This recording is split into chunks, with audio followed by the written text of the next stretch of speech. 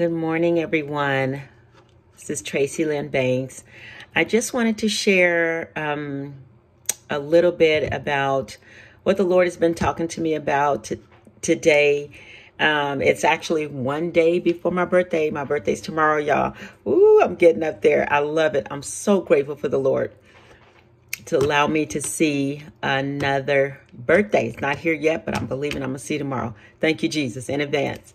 Um, I want to share a little bit about taking the masks off. That that's an area for me that the Lord has been dealing with me just being learning rather to be my authentic self, to to be the person that he's called me to be. And I did take a little bit of notes this time. I mean, I take notes all the time. I'm just going to be reading from a, a little bit more today than I have on just the other few videos that I have I have shared with you guys. Um, but again, like I said, as I go forth and, and be and do what God has called me to to do, um, I, I'm finding it to be a little bit more challenging to take the mask off. You know, when you get used to wearing a mask or um, putting up this facade, you do it long enough, you you definitely lose yourself. You and and I lost myself over the years. So I just wanted to share and to be open. Um, just about what what the Lord is doing. At the end of the day, it's not about me. No way. It's about me doing what the Father up in heaven has called me to do, what He's called me to say, and who He has called me to be. I'm excited about that journey. And and and two, God cannot bless who we pretend to be. He got to bless the real you, the real me. That's who He's going to bless, not not this facade that we may put up. Um, and like I said, even though it's challenging at times. Um, I know that the Lord is going to bless me. I know that He's going to help me to get through it. He's going to help you too to get through it, to, to find out who you really are. Uh, Philippians 4 and 13 says, I can do all things through Christ who strengthens me. So I can do this. I, I can find the real me. That may sound silly for some people. You know, I didn't want to share because I'm in my 50s, just now learning um, who I am, just now learning. Uh, to, to be who God called me to be, to really open up like a package to be to allow God to open me up and see all of the gifts and the talents that he has put down in there as he bring them out and as he reveal to me who I am in Christ. I'm going to just look at this real quick.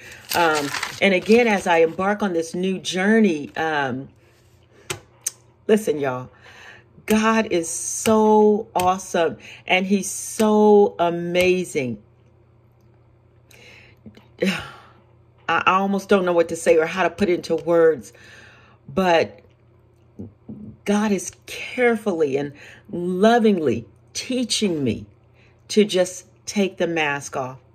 Remove it, Tracy. Be that beautiful person that I created you to be. We got to find the beauty in ourselves you know, the, the gifts and things that God put down in there. And He's doing it with me so lovingly and so patiently. I could wear a facade real good. I, could pretend that everything was okay and hold it all together real good. I was good at that. I was good at confirming, conforming to whatever environment I was in. I, I was good at good at that. I just put put the mask on and pretend just to be somebody else. So it's awesome that we can actually we can trust the Lord to be our real selves. He'll handle you with care. He'll carefully just remove this the things and say, "It's okay, child. It's okay, daughter. It's okay, son. Let's take this off."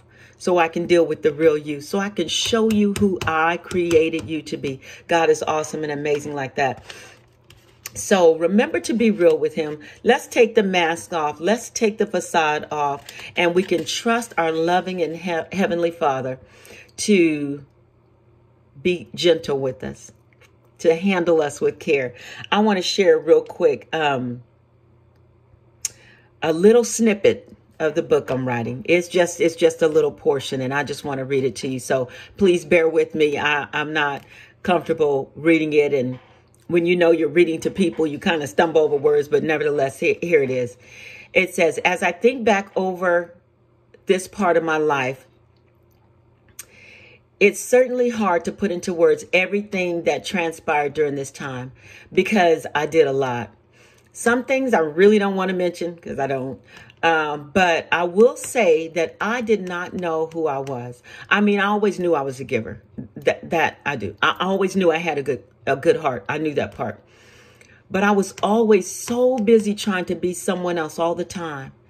You know, whatever he liked, then I like.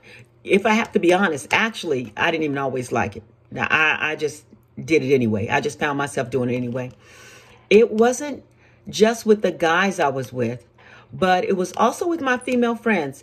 I tried to be like them. I tried to dress like them. Who was I? I didn't know.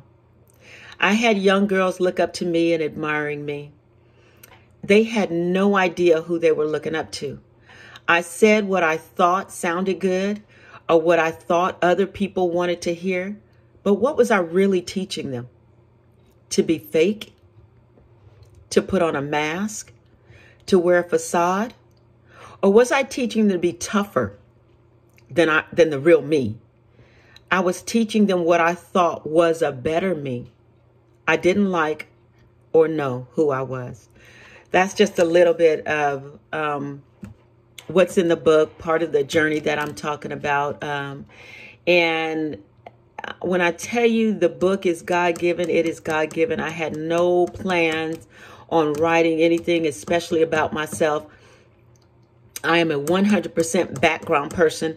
I I didn't mind, you know, working in hospitality in the back or finance somewhere in in the back or the usher board. I didn't consider that, you know, I was at the back door. I, I was okay with that. You know, just things done in the background. Never a, a forerunner kind of person, a front runner rather kind of person. I did it. So the Lord's been dealing with me about this book, which is simply called Becoming Me. I'm so excited for, for it. Y'all pray for me as I remove the mask, taking off the mask and learning to be who God created me to be, the real me. I can't wait to get to know her. I'm learning a little bit about her. Some I like, some I do not like. Can't wait to change it. But um I'm I'm excited about I'm excited about it. Um if you if I have one thing I guess to really leave about that is you can trust God to be the real you flaws and all, mistakes and all, you can trust him. He'll handle you with care. He'll love you and be patient with you. This is not an easy journey. It's not going to be overnight. I didn't get like this overnight. I ain't going to change overnight. It's not going to happen. So, um, but I do trust him. I do trust our loving and awesome Heavenly Father as I go on this journey to be with me always. He promised never to leave us or forsake us. He's true to his word. He cannot lie. Listen, if you don't know Jesus and you want to have um, that personal relationship with him, you can do that you can accept Christ into your heart. One of the scriptures that that we grew up reading all the time, and I still I still believe this to be true, and it's Romans 10 and 9. If you declare with your mouth Jesus is Lord and believe in your heart that God raised him from the dead, you will be saved. We can pray this. Lord Jesus, I believe you died for my sins, that you rose again, and that you live today. We, we can pray that. We can believe that with all of our heart. Just ask Him, come into my heart. Change me from the inside out. That's where it starts, on the inside. Outside things don't always change. I repent of my sins. I am yours. I make you my Lord and Savior. In Jesus' name, amen. So from, from the inside out, He can change everything. Pray. Read your Bible. Study. Ask God to transform you. It's not an overnight thing. It's a continual thing. It's not about religion. It's about relationship. It's not about changing everything on the outside. It's about changing what's on the inside first. You can do that. You can you will have you can have them in your life uh, today. Just ask him, and he will do that. He will change you from the inside out. Listen, if you are new in Christ, and um, I just want to encourage you to enjoy your new journey. If you have fallen away and you just came back, enjoy your renewed life with Christ. I love you all. I pray that you got something out of it. Be blessed and have a wonderful, wonderful day.